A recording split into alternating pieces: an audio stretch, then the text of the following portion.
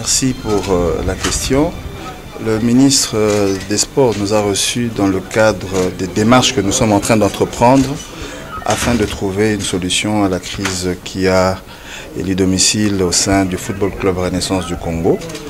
Je crois que le président euh, de la grande commission des supporters ici présent, ainsi que tout son comité, nous, ont, nous ont appelés, nous, les membres fondateurs ainsi que tous ceux qui euh, se reconnaissent en tant que René. Et donc ils m'ont chargé de venir un peu exposer le problème auprès de l'autorité de tutelle qui nous a reçus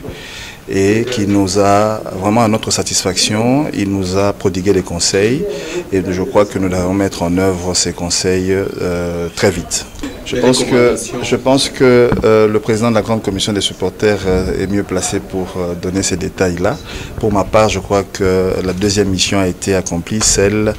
dans le cadre de l'accompagnement de l'équipe pour qu'elle ne sombre pas nous sommes venus voir l'autorité et nous allons poursuivre les démarches, mais je préfère que vous posiez la question au président de la Justement. Le ministre a été très très euh, clair avec nous et très euh, favorable. Il a reçu les desiderata de la grande commission des supporters ainsi que des supporters de la Renaissance du Congo qui veulent voir leur équipe être prête pour euh, la saison sportive 2020-2021 et il nous a demandé de, il nous a envoyé, il nous a recommandé en tout cas d'aller dans le sens de l'unité, de la cohésion et il m'a chargé personnellement de chercher à voir euh, le président évêque Mukuna qui est euh, en ce moment indisponible et empêché.